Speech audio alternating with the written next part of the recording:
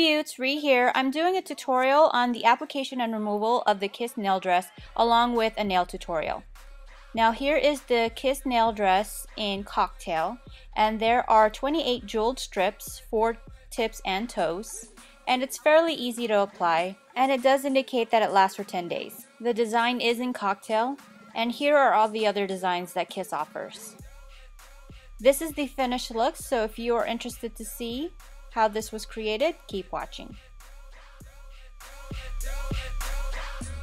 Not included in the directions for the Kiss nail dress, I usually prep my nails. So I take this nail polish remover and a q-tip, which I then go ahead and rub all over the bed of my nail to remove any oils, any leftover polish, any moisture, just to make sure that the products that I put onto it adhere properly. Using the Sally Hansen Triple Strong Nail Fortifier, I use this because my nail has a tendency to chip or break once it gets a little bit longer, so I apply two coats of this. And once my nails are dry, I remove the Kiss nail art out of its packaging, and it looks like there are three different sheets of plastic with the decals on them and a direction sheet. Really like how the decals are on this little plastic sheet here so then you can compare which one will fit your nail size. And once you figure out which one that is, you just peel it off of the plastic. And in comparison to Sally Hansen products, this is very sturdy and it does take a little bit of tugging to get it off, which is nice. It doesn't tear easily and it's a pretty thick consistency and that's what it looks like.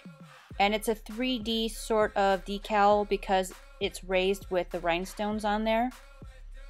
So then you just go ahead and take the decal and as close to the cuticle as possible, you go ahead and apply that on and just rub it onto your nail and then fold it over the front of your nail.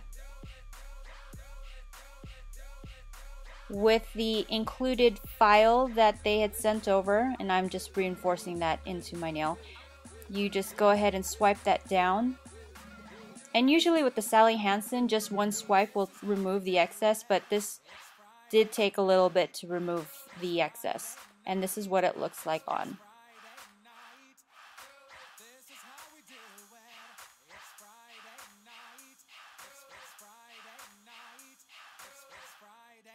So then I do the other finger that I want to apply the decal to. And once again, remove that from the plastic.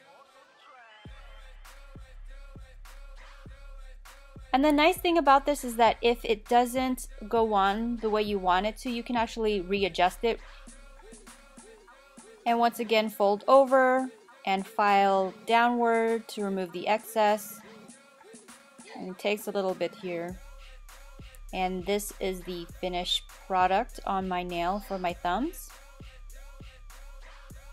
and this is what it looks like with the accents of which fingers I wanted the decals on.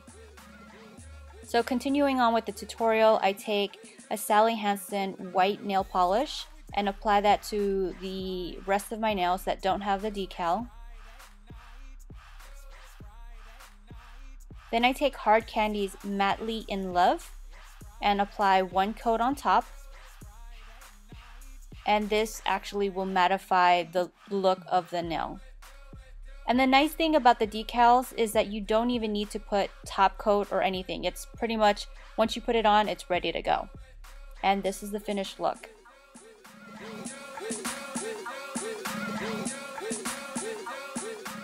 Now on to removing the nail dress decals. This is what my nail looked like after it being on for 10 days. So you essentially just go in and you just peel off the decal off of your fingernail. And I just took one corner and just peeled it off little at a time. And this is what your nail looks like afterwards. And once again, this is what the nail looks like on the 10th day. And you just peel it off. And there are remnants of the glue on your nail. And you can essentially just take a cotton ball with acetone and just rub that onto the nail to remove it. That was the application, the removal, and the nail tutorial including the Kiss nail dress. If you'd like to know the review of this product, visit my website.